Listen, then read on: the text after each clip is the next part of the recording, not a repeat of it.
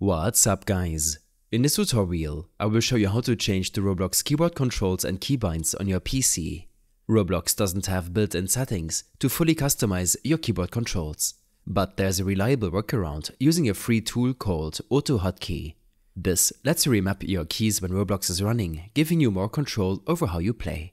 First, open up your browser and go to autohotkey.com. Click on the download button to get the latest version. Don't worry, AutoHotkey is safe and widely used for creating custom scripts that automate or remap keyboard actions. Once it's downloaded, run the installer, allow changes if prompted, and follow the setup instructions.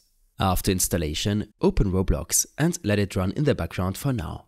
Next, we will create a script that will handle the custom keybinds. To do this, right-click on your desktop or in any folder, hover over New and select AutoHotkey script. Name the script something like Roblox keybinds so it's easy to recognize later. Once it's created, right-click on the file and choose Edit Script.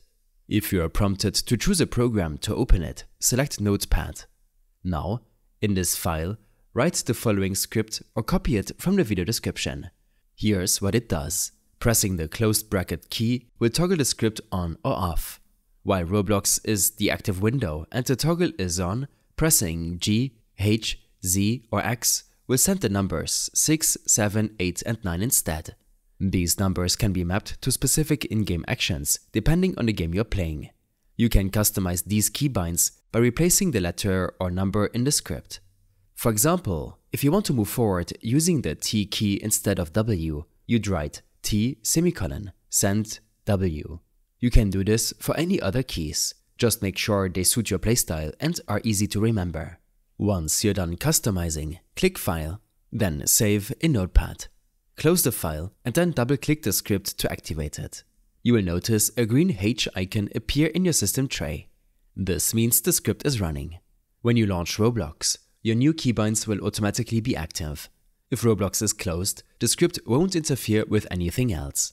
To stop the script manually, press the closed bracket key as defined in the script. Or right-click the AutoHotkey icon in the system tray and select Exit. I hope this helped you out. Leave a comment if you have any questions and see you in the next one.